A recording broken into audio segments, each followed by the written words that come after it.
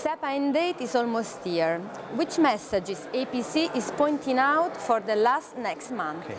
There are five uh, main messages uh, to be uh, shared with all the, the, the, users. First is that there is only plan A, so it is a must. We have to, to make this transition uh, uh, by February 1st, 2014. Second message, which is very important, is that it applies to everybody. It's not only uh, providers, users are as well uh, uh, impacted by this SEPA regulation. So it is uh, large corporates, SMEs, uh, it is public administrations as well. So it's everybody who is impacted. Third important message is that uh, if you have not yet initiated your transition plan, perhaps you are being late and you must act now.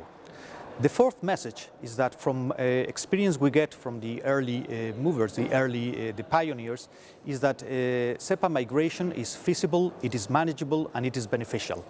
Changes and, and the scope is extensive, but the message is that the SEPA pays off.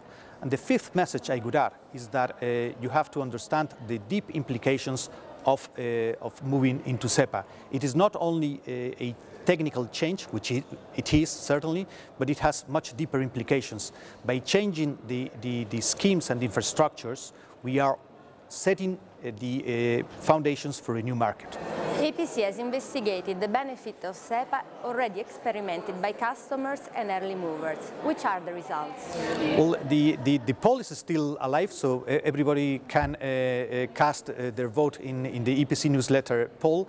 But the, the, the there are five uh, main uh, benefits uh, which are being realized, coming from gain, gains in efficiency up to the centralization of bank accounts and cash management systems. But I would leave it up to users to decide which of those five benefits is the most relevant for them. But uh, so far, uh, we are uh, realizing that uh, users are uh, materializing uh, those benefits.